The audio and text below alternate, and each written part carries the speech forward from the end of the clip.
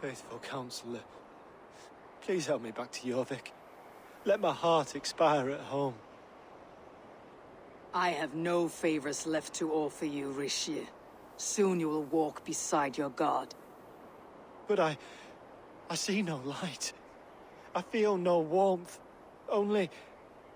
an icy darkness, a, a cave. Hell's frozen door welcoming you. What, what waits for me there, Eivor?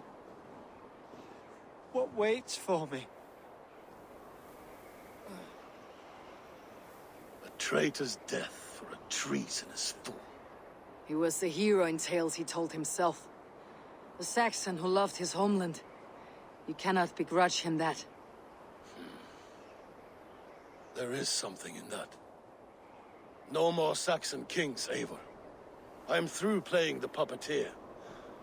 The fate of this Shire rests on my shoulders alone. You'll take the crown yourself, and the extra burden it brings. I will. But I will not rule alone. My friends, and my allies, will keep me standing upright. Let us talk of our alliance in Jorvik. Leave this king to his winter kingdom.